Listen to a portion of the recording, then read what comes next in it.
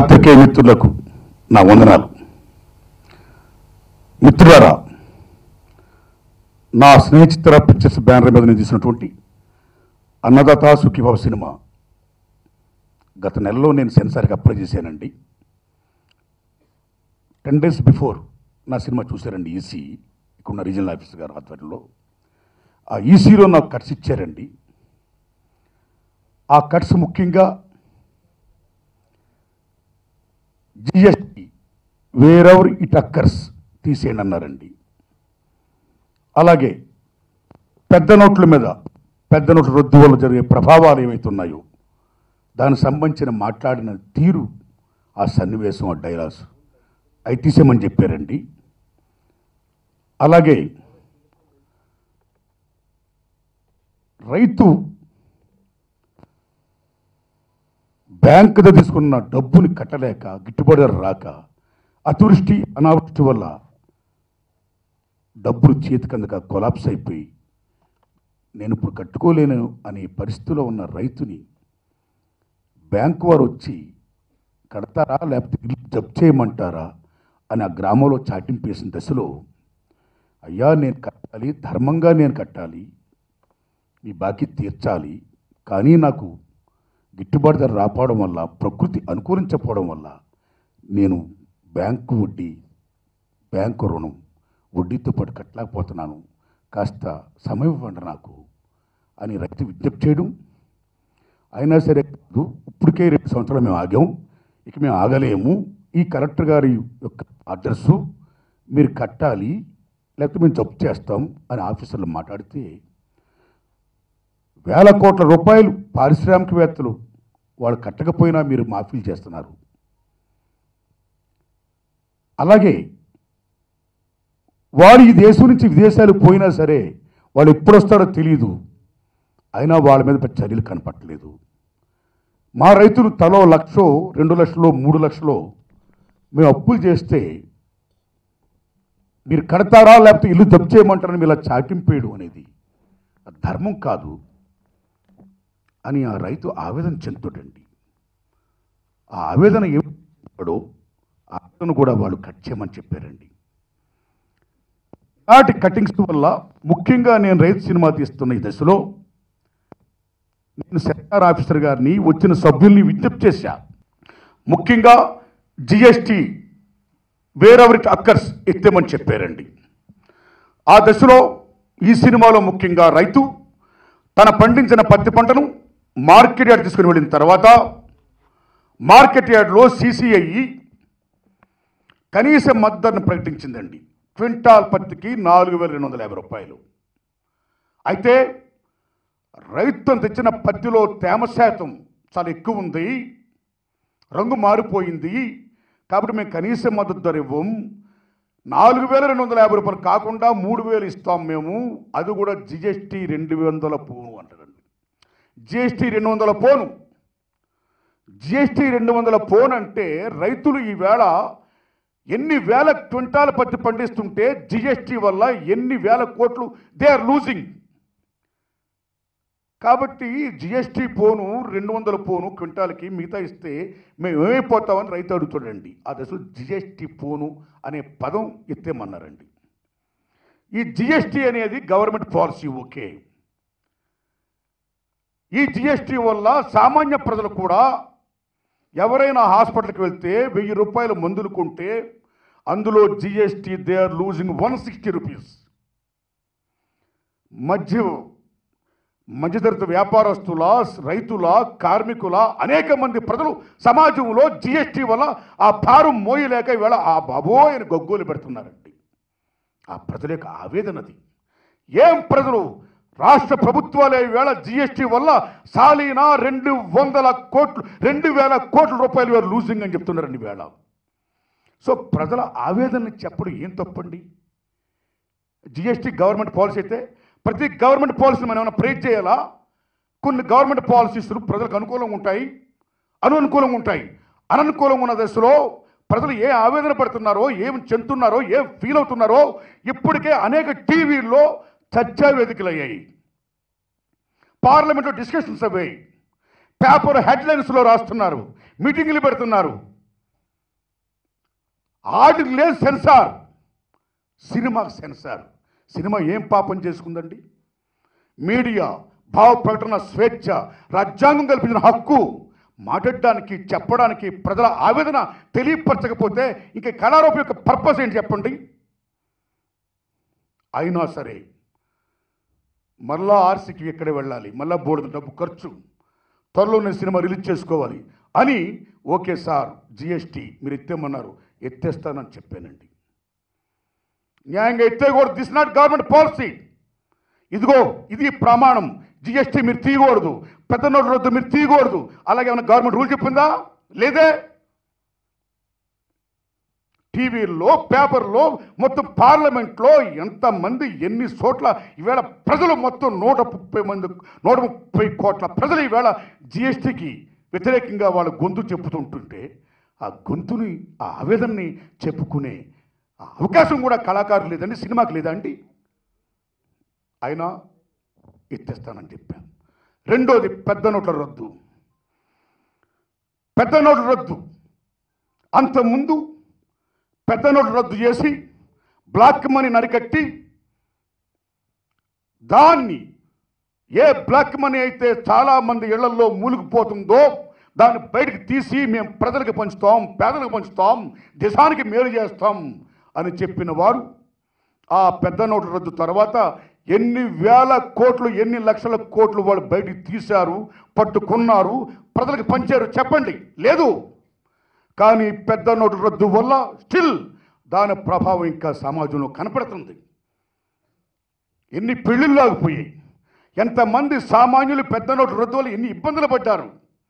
ఇప్పటికీ ఏటీఎంల ముందు పెద్ద నోటు డబ్బు లేక నో క్యాష్ అని బోర్డులు పెడుతుంటే ప్రజలు ఏటీఎంల ముందే రిజర్వ్ బ్యాంక్ ఆఫ్ ఇండియా అని ఆ యొక్క దిష్టి బొమ్మను తగలబెడుతున్నారు ఈవేళ. స్టిల్ పెద్ద నోట్ల ప్రభావం ఏమైతే ఉందో దాన్ని ఇంకా ప్రజలు ఫీల్ అవుతున్నారు. బాధపడుతున్నారు. సామాన్యులు గగ్గోలు పెడుతున్నారు. అలాంటి దశలో నేను స్వయంగా చూసా నా ఫ్రెండ్ల పెళ్ళికి వెళితే పెద్ద నోటు రద్దు వల్ల రేపు పొద్దున బ్యాంకుల దగ్గర మేము నిలబడలేము ఆ బాధలు మేము పడలేము. మాకు పెద్ద నోట్లు వద్దు అని కట్నం ఇవ్వకుండా ఇవ్వలేకపోతే ఆపేశారు పెళ్ళిని ఎన్ని పెళ్ళిళ్ళు ఆగిపోయాయి. ఎంతమంది వృద్ధులు చనిపోయారు. అప్పటికి మన నాయకులు ఓర్పట్టండి సహనం వహించండి దేశభక్తి భరించండి అంటే నిజంగా పెద్దనోళ్ళకి వ్యతిరేకంగా ఏమైనా మాట్లాడితే దేశ ద్రోహం ఏమని చాలామంది ఓపిక పట్టారు. భరించారు. కానీ ఇదేం బాధ అండి? స్టిల్ ఇట్స్ చేసింగ్ సో అలాంటి పెద్దనోడు రద్దు వల్ల ఇంకా సమాజంలో ఇంత బాధపడుతుంటే జనం ఆ యజ్ఞ ఫలాలు అనండి దాని యొక్క ప్రభావం అనండి ఇంకా ప్రజలు ఫీల్ అవుతుంటే వాళ్ళ ఆవేదనని.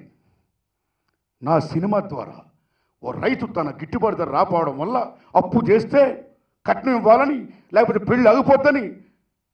అప్పు చేసి ఆ పెద్ద నోట్లు పట్టుకొని వెళితే అప్పుడే పెద్ద నోట్లు రద్దు అయిపోవడం వల్ల పెద్ద నోట్లు రద్దు అవ్వే నేను డబ్బు తీసుకోవట్లేదు. ఈ డబ్బు నాకు వద్దని పెళ్ళి ఆగిపోద్ది. ఆ దశలో ఈ పెద్ద నోట్ల రద్దు వల్ల జరిగే పరిణామాలు ఏమవుతున్నాయో ఆ హీరో క్యాటర్ ఏం ఫీల్ అయ్యాడో ఆ రైతు ఏం ఫీల్ అయ్యాడో తన కూతురి పెళ్ళి ఎక్కడ ఆగిపోయిందో అనే ఆవేదన కూడా చివరి తను చెప్పుకుంటాడు. దాన్ని ఎత్తేయమని చెప్పారండి.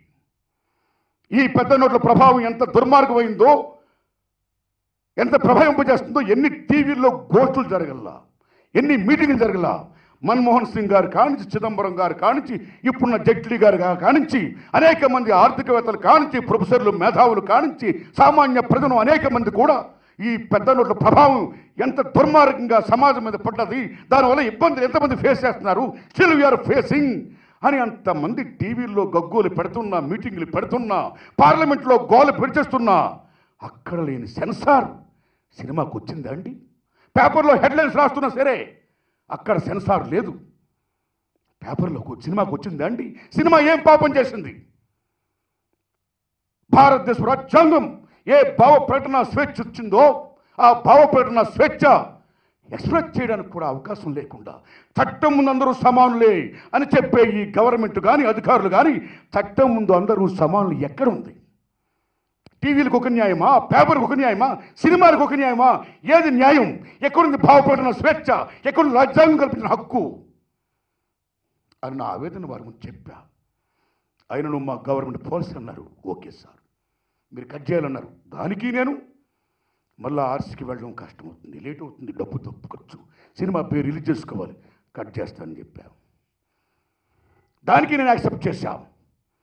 ఇక మూడో కట్ మేజర్ కట్ ఏంటండి రైతు ఆ జబ్ చేసినప్పుడు తన ఆవేదన చెప్తుంటాడు.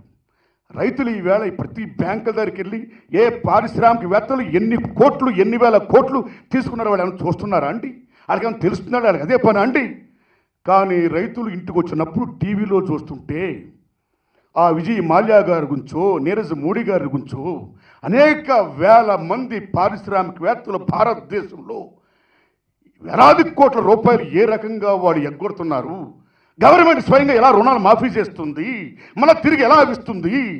అని టీవీలో చూసో పేపర్లో చదువు పారిశ్రామికవేత్తలకి ఇన్ని రైతులు ఇస్తున్నారు అన్ని మాఫీలు చేస్తున్నారు రైతులు మనమేం పాపం చేశాం? అని ఆడ ఆవేదన చెందుతూ వాళ్ళు తీసుకున్న ఆ లోన్స్ మాత్రం వాడు ఎగ్గొట్టినా సరే అవి గుప్తంగా ఉంచుతున్నారు. ఆడెళ్ళ ముందు ఎక్కడ సాటిని పేట్లా? వాళ్ళ విదేశాల్లో ఓ క్లబ్బుల్లో ఉన్న పబ్బుల్లో ఉన్న ఎక్కడున్నా హ్యాపీగా ఎంజాయ్ చేస్తున్నా వాళ్ళ మీద ఆ దేశం కానీ ఈ దేశం కానీ ఇంతవరకు ఏ చర్యలు లేవు. కానీ లక్షల మీద ఒక లక్ష రెండు లక్షలు మూడు లక్షలు మా రైతులు బ్యాంకులకు అప్పు పడిపోతే వచ్చే రుణాలు కట్టాలి లేకపోతే మేము జప్తు చేస్తాం అని చాటింపు వేసి రైతు ఆత్మ గౌరవాన్ని ఆత్మాభిమానాన్ని ఇలా నడి రోడ్లో పెట్టడం ఏమి భావ్యం చెప్పండి? అంటే భారతదేశంలో పారిశ్రామికవేత్తలు వాళ్ళు కన్న కొడుకులయ్యారా కన్న తల్లి బిడ్డలయ్యారా? ఈ మట్టి మనుషులు ఈ రైతులు సవత్తల్లి బిడ్డలయ్యారా? ఏంది న్యాయం? ఏంది సమదృష్టి? అని రైతు ఆవేదన చెందుతాడు. దాన్ని ఎత్తేయమన్నారండి. అందులో కూడా ఎంపీలు ఎమ్మెల్యేలు మంత్రులు అనేక వందల కోట్లు అప్పు తీసుకొని వాళ్ళు ఎగ్గొట్టుకా లేనిది మా రైతులు ఎగ్గొడితే మేము కష్టం వల్ల ఇలా ఇబ్బంది పడితే మాకు ఛాన్స్ ఎవరన్న దాన్ని కట్ చేయమంటే దానికి ఒప్పుకున్నాను సార్. రిమైనింగ్ అంతా ఉంచుతారని.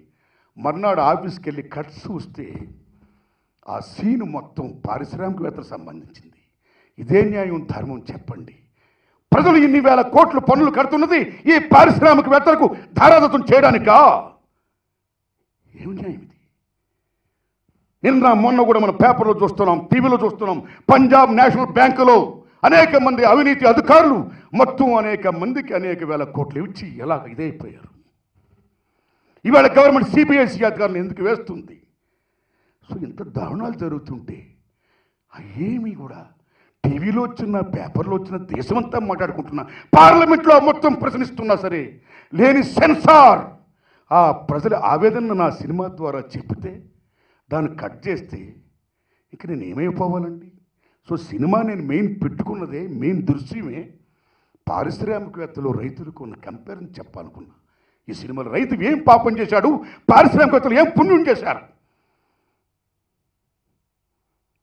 సో అలాంటి మెయిన్ సీన్ని అది ఎత్తేయమంటే అప్పుడు నేను ఫీల్ అయ్యి అయ్యా ఆఫీసర్ గారు నిన్న మీరు చెప్పింది ఎంపీ ఎమ్మెల్యేలు మంత్రులను కట్ చేయమన్నారు.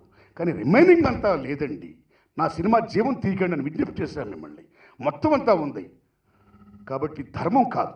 నేను ఆర్సీకి వెళ్తున్నాను అని నేను చెప్పడం జరిగిందండి. సో జిఎస్టీ వేరెవరి టక్కర్స్ ఎత్తేమని ఐ యాక్సెప్టెడ్ నాకున్న పరిస్థితుల వల్ల. సినిమా పేరు రిలీజ్ చేసుకోవాలి. మళ్ళీ ఆర్సీకి బోర్డు ఫీజు కట్టాలి. పెద్ద నోటు రద్దు okay I accepted because of my conditions కానీ ఈ పారిశ్రామికవేత్తలకి రైతులకి జరుగుతున్న ఈ తంతు ఏమవుతుందో ఈ కంపారిజన్ ఏమవుతుందో ఈ గవర్నమెంట్ విధానాలు రిజర్వ్ బ్యాంక్ ఆఫ్ ఇండియా విధానాలు ఏమైతే ఉన్నాయో దానిపైన రైతుల ఆవేదన కానీ ఆందోళన కానీ ఏవైతే ఉందో అది సినిమాకి మెయిన్ దానికోసం నేను ఆర్సీకి వెళ్ళదలుచుకున్నాను సార్. అని ఆఫీసర్ గారు చెప్పడం జరిగిందండి. అందుకే నా సినిమా నేను ఆర్సీకి నేను వెళ్తున్నాను sir. These are the main points అది తమరు చెప్పాలని నా ఆవేదనని ఈ రకంగా మీకు ముందు చెప్తున్నా. ఎందుకంటే టీవీల్లో పేపర్లో ప్రజలన్నీ మాట్లాడుకునే నా సినిమా కూడా. నేను కొత్తగా ఏం చెప్పట్లా? నేనేం దేశద్రోహం కాదు. నేనేం దేశద్రోహి కాదు. నా సినిమా ద్వారా దేశద్రోహం చేయమని చెప్పటలా? దేశభక్తుణ్ణి దేశభక్తులైన ఈ మట్టి మనుషులు ఏ రైతులైతే ఉన్నారో ప్రపంచానికి అన్నం పెడుతున్న ఈ రైతులు ఎవరైతే ఉన్నారో ఆ రైతులు పంతొమ్మిది వందల తొంభై ఐదు నుంచి ఇప్పుడు దాకా కనీసం మూడు లక్షల ఇరవై ఐదు వేల మంది పైగా ఆత్మహత్య చేసుకున్నారు. కేవలం గిట్టుబడి ధర వల్ల. కాబట్టి నా సినిమా ద్వారా ఓ రైతు సోదరులారా ఓ రైతు మహానుభావులారా ప్రపంచానికి అన్నం పెడుతున్న ఓ రైతు అది మహానీయులారా మీరు ఆత్మహత్య చేసుకోకూడదు. మీరు బతకాలి ప్రపంచాన్ని బతికించాలి అనే మంచి విషయంతో నేను ఈ సినిమా చెప్పానండి. ముప్పై ఏళ్ళ బట్టి నేను సినిమాలు తీస్తున్నా ఇష్యూ మీద తీస్తున్నా. ఇలా సినిమాలు తీస్తున్న నాకు నేను ఎప్పుడు కూడా ఇండివిజువల్గా ఎవరిని విమర్శించాల. వ్యవస్థాపరంగా పెడుతున్నా నేను అధికార పక్షం కాదు అపోజిషన్ కాదు. నేను ప్రజల పక్షం. ఓ ప్రజా కళాకారుడుగా ఇలాంటి సినిమాలు తీస్తున్నా. సో ఇలాంటి దశలో రాజ్యాంగం కల్పించిన భావ ప్రకటన స్వేచ్ఛ ఏమైతే ఉందో అది నేను దుర్వినియోగం చేసుకోవట్లేదు. ఎవరిని ఇండివిజువల్గా ఏమైనా విమర్శించట్లా? గవర్నమెంట్ పాలసీ ఏమైతే ఉన్నాయో ప్రజల మీద ఏ రకంగా ప్రభావితపడుతున్నాయి ప్రజలు ఏ విధంగా ఫీల్ అవుతున్నారు good and bad pro and negative ఏమైతే ఉన్నాయో అవన్నీ ఏ చర్చ అయితే ఉన్న జరుగుతున్నాయో ఆ చర్చని ఆ ఫీలింగ్స్ని ఆ రైతుల ఆవేదనని నేను ఈ సినిమా ద్వారా చెప్పా. కాబట్టి టీవీల్లోని పేపర్లోని పార్లమెంట్లోని మొత్తం జరుగుతున్న దృశ్యాల్ని వాడలేని సెన్సార్ని సినిమాకి ఎందుకు చేశారో అది కరెక్ట్ కాదని నేను విజ్ఞప్తి చేస్తూ నేను ఆర్సీకి వెళ్తున్నాను అక్కడ న్యాయం చేయాలని కోరుకుంటున్నానండి. అది సార్ మెయిన్. ఇంకా రెండో పాయింట్ సార్ ఇంటర్వ్యూలు అయిన వెంటనే టొబాకో రాహుల్ ద్రావిడ్ గారు పొగ త్రాగవద్దు తాగితే ఇలాగ డ్యామేజ్ జరుగుతుంది ఇలాగెలాగా అని చెప్పేది ఏమవుతుందో దాన్ని యాడ్ చేయాలని చెప్పారండి. ఫస్ట్ బిగినింగ్లో వేసాం సార్ అక్కడ కూడా మళ్ళీ యాడ్ చేయమని చెప్పారండి. నేను ఒకటే విజ్ఞప్తి చేస్తున్నా ప్రభుత్వం వారు ఇలాంటి విషయాల్లో దయించి ఆలోచించాలి. మీరు smoking is injurious to health అంటున్నారు మీరు. అలాంటి గవర్నమెంట్ ఈవేళ ఎందుకు టొబాకో మీద వాటి మీద వ్యాపారం చేస్తూ స్వదేశీ విదేశీ ఎగుమతులు దిగుమతులు చేస్తుంది? ఎందుకు వాటిపై ట్యాక్స్లు పొందుతుంది? జిఎస్టీ ఎందుకు విధిస్తుంది? ఎందుకు why the government is doing business with tobacco అక్కడ మీరు వ్యాపారం చేస్తారు మీకు పన్నులు కావాలి. ఇక్కడేమో మద్యపానం smoking is injurious to health అంటారు మీరు. ఈ ద్వంద్వ విధానం ఏంటండి? మద్యపానం తాగొద్దు తాగితే ఇంత డ్యామేజ్ అంటున్నారు మీరు. పబ్లిసిటీలో పెట్టమంటున్నారు. మరో పక్క భారతదేశంలో ఎన్ని రాష్ట్రాల్లో కేంద్ర ప్రభుత్వంతో సహా ఎన్ని రాష్ట్రాలు ఈవేళ లెక్కర్లు నమ్ముతున్నాయి? కొన్ని రాష్ట్రాలైతే అయితే స్వయంగా వాళ్ళే అమ్ముతున్నారు. ఒక పక్కన మీరే అమ్ముతారు ఒక పక్కన డబ్బు కావాలి ట్యాక్స్ విధిస్తారు. మద్యపాన బాటిల్స్ మీద సారా మీద ఇరాకుల మీద. సో పక్కన వైల్ యూఆర్ డూయింగ్ బిజినెస్ మరో పక్కనే మద్యపాన నిషేధం మద్యపానం సేవించొద్దు అని ఏంటండి ద్వంద్వ విధానం? అది కరెక్ట్ కాదండి. అది కరెక్ట్ కాదు. గవర్నమెంట్ విధానం ఇది కరెక్ట్ కావు. ఒక సినిమాకి టికెట్ కొనుక్కొని పలానా సినిమా చూద్దామని వెళుతాడు ప్రేక్షకుడు ఫస్ట్ హాఫ్ అయిన సెకండ్ హాఫ్లో ఏం చెప్తాడో చూద్దాం చూద్దామని పరిగెట్టుకెళ్ళే దశలో ఈ యాడ్లు రావడం వల్ల ఆ యాడ్లు వస్తాయి మళ్ళీ వెళదామని మళ్ళా సిగరెట్ బీడు తొక్కని వెళ్తున్నారు వీళ్ళ పరిస్థితి? అంటే ఒక సినిమా నిర్మాత ఒక సినిమా తీస్తే దానిపైన ఈ గవర్నమెంట్ యాడ్లు ఇంత బీభత్సంగా ఈ రుద్రం ఏంటండి? ఈ ద్వంద్వ ప్రమాణాలు ఏమిటండి మీరు నిజంగా భారతదేశం మొత్తం అంతా మద్యపానం నిషేధించండి. అప్పుడు సినిమాలు యాడ్ ఇవ్వండి గుట్కా మా గుట్కా గుట్కా గుట్కా. గుట్కా నిషేధం గుట్కా తా- తినొద్దు. డ్యామేజ్ క్యాన్సర్ వస్తుంది అని చెప్తున్నారు మీరు. మరో పక్కన గుట్కా పైన కూడా జిఎస్టీ పన్నులు వేస్తున్నారు మీరు. So government wants money the same time gutka తినొద్దు ఇది చేయొద్దు మళ్ళీ ఇక్కడ యాడ్లు. ఏమిటి ద్వంద్వ విధానం? సో టిక్కెట్ కొనుక్కొని సినిమా చూడాలనుకున్న ప్రేక్షకుడు థియేటర్లోకి వెళ్ళిన వెంటనే ఈ మద్యపానం సేవించవద్దు గుట్కా సేవించవద్దు ఈ సిగరెట్ స్మోకింగ్ ఇంజురీస్ హెల్త్. ఏంది తలనొప్పి? నిజంగా గవర్నమెంట్కి ప్రజల మీద అంత భక్తి శ్రద్ధ వాళ్ళ ఆరోగ్యం చూసాలనుకుంటే ముందు నిషేధించండి ప్రపంచం మొత్తం భారతదేశం మొత్తం. ఇంకా మీరు యాడ్లు ఇవ్వాలనుకుంటే టీవీలో ఏ రకంగా అయితే నిర్మాతలు యాడ్లు ఇచ్చుకుంటున్నారు గవర్నమెంట్ కూడా యాడ్లు ఇవ్వండి. సినిమా తీసిన నిర్మాత తన సినిమాకి ఏ సినిమా చూడడానికి టికెట్ కూడా వస్తున్నాడు ప్రేక్షకుడు అతని మీద ఈ రుద్రం ఏంటండి? కాబట్టి ఇవన్నీ కరెక్ట్ కాదండి ఇవన్నీ ఆలోచించాలి సెన్సార్ బోర్డు వారు. మై హంబుల్ రిక్వెస్ట్ కాబట్టి దొంగ ప్రమాణాలు వద్దు. టీవీలకి పేపర్లకి పార్లమెంట్లో జరుగుతున్న తంతులకి మొత్తం వీళ్ళ ప్రజలకి ఏ నీతి ఉందో అదే నీతిని ఆ రీతిని మా సినిమాలు కూడా వర్తింపు చేయండి. అప్పుడే బాగుపడిన స్వేచ్ఛ మీరు కల్పించినట్టు లెక్క. అప్పుడే చట్టం ముందు అందరూ సమానులే అన్న మాటకు ఒక లెక్క ఒక అర్థం ఒక పరమార్థం. లేకపోతే టీవీలకు న్యాయమా? పేపర్కో న్యాయమా? పార్లమెంట్తో తంతుకు న్యాయమా? ఇక్కడ మా సినిమాలు ప్రజలు పడే ఆవేదనని మేము చెప్తుంటే మాకు మాత్రం కట్ట. మేము అనుభవించాలి ఆ బాధని. ఏమి ధర్మం ఇది? ఎక్కడుంది న్యాయం? మై హంబుల్ రిక్వెస్ట్ అందుకే నేను ఆఫీసర్ గారు చెప్పాను. నేను ఆర్సీకి వెళ్తున్నాను. These are the factors my friends నా ఆవేదనలు తెలియపరచుకున్నా. ధన్యవాదాలు. థ్యాంక్ యూ వెరీ మచ్ ఆర్సీకి వెళ్తున్నాను. న్యాయం జరుగుతుందని నేను నమ్ముతున్నా విశ్వసిస్తున్నా. మీరు అన్నట్టు జరగకపోతే నా కోర్టే దిక్కు. కోర్టే దిక్కు. ఇప్పుడు మెర్సెల్ అనే విజయ్ గారు నటించిన సినిమా వచ్చింది తమిళనాడులో. అప్పుడు జిఎస్టీ మీద వాళ్ళు కట్ చెప్పడం పెద్ద గోల జరగడం జరిగింది బీభత్సంగా. న్యాయంగా జరగకూడదు అలాగా. జిఎస్టీ అనేది గవర్నమెంట్ పాలసీ ఓకే. ఆ పాలసీ వల్ల కొంత బ్యాడ్ ఉంటుంది కొంత గుడ్డు ఉంటుంది. ఆ బ్యాడ్ జరుగుతున్నప్పుడు వస్తున్న ఆ పరిణామాలు ఏమవుతున్నాయో ఉన్నాయో ఆ పరిణామాల్ని మీ మీడియా వాళ్ళు కవర్ చేసి అలా చెప్తారు పేపర్లో రాస్తారు. అలాగే మా సినిమా వాళ్ళు సినిమా తీస్తాం. తప్పేంటిది? భావపడిన స్వేచ్ఛది రాజ్యాంగం కల్పించిన హక్కది. సినిమాలకి ఏం పాపం చేశారని ఈ రకంగా మీరు కష్ట చెప్తారు. టీవీలకి పేపర్లకి లేని సెన్సార్ సినిమాకి ఎందుకు వచ్చింది? ఈవేళ పార్లమెంట్లో స్వయంగా ఈవేళ ప్రజాస్వామ్యం పరిహాసం అవుతుంది ఈవేళ. మొత్తం దేశంతో చూస్తుంది. దానికి సెన్సార్ లేదు. ఇంకా మా సినిమాలు టిక్కెట్ కొనుక్కొని వెళ్ళాలి జనం. టిక్కెట్ కొనుక్కొని వెళ్ళాలి. సినిమా నచ్చితే వెళ్తారు వెళ్ళరు. కానీ టీవీలు చూసుకొని చిన్న పిల్లల నుంచి పెద్దవాళ్ళ దాకా ఇంటికాడ కూర్చొని చూస్తున్నారు ఈవేళ. దానికి లేని సెన్సార్ మాకెందుకు ఈవేళ? ఇది నా బాధ. అలాగే సెక్స్ ఎక్స్ప్లోటేషన్ గురించి మాడతారు సెన్సార్ వారు కానీ మిగతా వాళ్ళు కానీ. మరి టీవీలో midnight masala hot chillies ఇంకా ఏంటంటే ఈ fashion parades total sex exploitation పేపర్సంగా దానికి సెన్సార్ లేదు. మా సినిమా వాళ్ళు సెన్సార్. ఏంటి ద్వంద్వనీతి ఏంటి ద్వంద్వనీతి ఈ మధ్యకాలంలో ఎన్ని పేపర్లు ఇవాళ అన్నదాతలకి ఇంత అన్యాయం జరుగుతుందని ఇంత బ్రహ్మాండంగా రాస్తున్నాయి.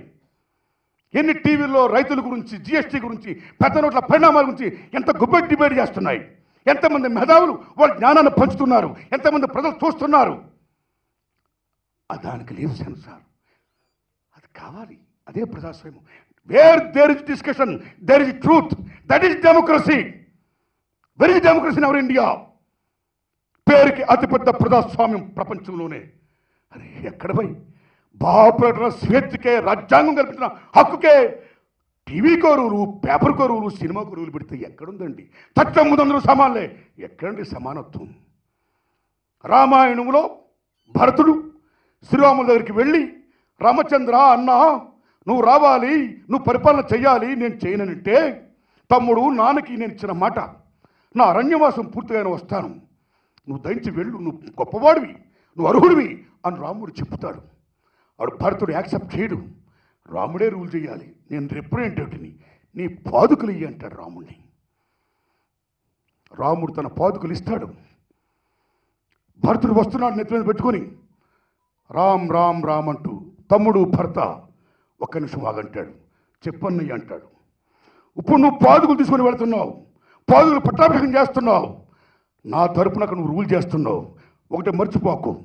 రాజ్యంలో ఏం జరిగినా సరే మంచి కానీ చెడు కానీ రిఫ్లెక్షన్ నా మీద పడుతుంది రాముని మీద పడుతుంది రాముని మీద పడుతుంది. రాముని పాదుకులు నువ్వు పెడుతున్నావు కాబట్టి. కాబట్టి మంచిగా ఉండు. ఒకటి మర్చిపోకు. మనం ప్రభులు అనే అహంకారం రానివ్వకు. పాలకులకు ప్రజలంటే భయం భక్తి ఉండాలి. అవి లేని రోజున అనార్కిజం మొనార్కిజం డిక్టేషిప్ వస్తుంది. ఆ చెడ్డ పేరు రానీకు నియంతృత్వంలో ఫీల్ అవ్వకు. ప్రజలు పరిపాలించే నాయకులు ప్రజల సేవకులుగా ఫీల్ అవ్వాలి. ప్రజల్ని పరిపాలించడానికి దేవుడిచ్చిన వరంగా ఫీల్ అవ్వాలి. కాబట్టి ప్రజలతో చాలా మంచిగా ఉండు భయభక్తులతో ఉండు ప్రజలకు ఏం కావాలో చెయ్యి. అప్పుడే నిజమైన అసలు శిశులు రామరాజ్యం వస్తుంటాడు రాముడు. అది ఒక రాచరికములో ఒక రాజ్య పరిపాలనలో.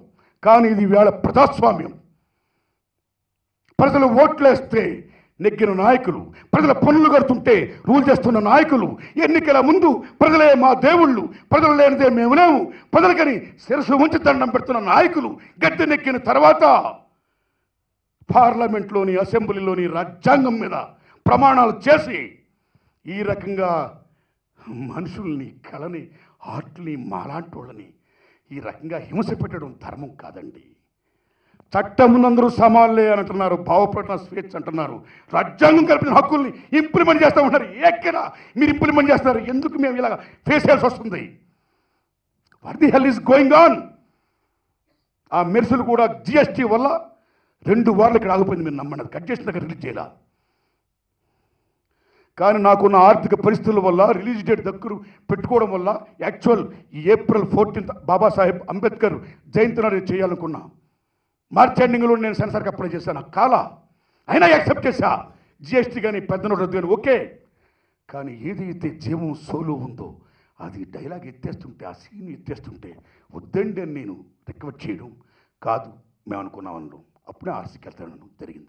ఇది బ్రదర్ ఆర్సీలో న్యాయం జరుగుతుంది నమ్ముతున్నా. ఇట్స్ ఎ కాయిన్ భాయ్ సాబ్ ఇలాంటి సినిమాలు తీయడం కానీ మానవ జీవితం ఒక యుద్ధం బతుకుపోరు ఏం చేస్తాం? చల్ చల్ గాడి. ముప్పై ఏళ్ళ పడేలాంటి సినిమాలు తీస్తున్నా. ఆర్సీలో ఎంతోమంది మహానుభావులకు సాయం చేశారు. దిస్ మై సిక్స్త్ ఫిలిం ఆర్సీకి వెళ్తున్న ఫిలిం అలాగే మంచి జరుగుతున్న వస్తున్నా ఐ హోప్ రాజ్యాంగం మీద ఏ గౌరవం ఉన్నా ఎవరికి ఉన్నా సరే రాజ్యాంగాన్ని ఇంప్లిమెంట్ చేసేయాలనే ఒక జిజ్ఞాస కానీ ఆ నోషన్ కానీ ఉంటే వాళ్ళు తప్పకుండా న్యాయం చేస్తారు. ఐఎమ్ పాజిటివ్ ఎందరో మహనీయులు మంచివాళ్ళు ఉన్నారు. చలిగాడి వాళ్ళకి వందనాలు. థ్యాంక్ యూ బ్రదర్స్ సార్ అన్న.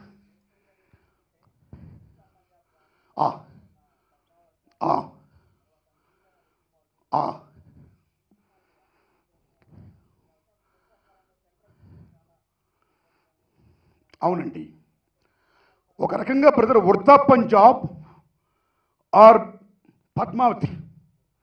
ఆ రెండు ఫిల్మ్స్ కూడా సెన్సార్ పరంగా కంటే కూడా బయట నుంచి వచ్చిన ఒత్తిళ్ళు వీటి వల్ల పొలిటికలైజేషన్ చేయడం వల్ల అనేక మంది సామాజిక వర్గాలు వాళ్ళు ఫైట్ చేయడం వల్ల ఇబ్బందులు పడ్డాయి.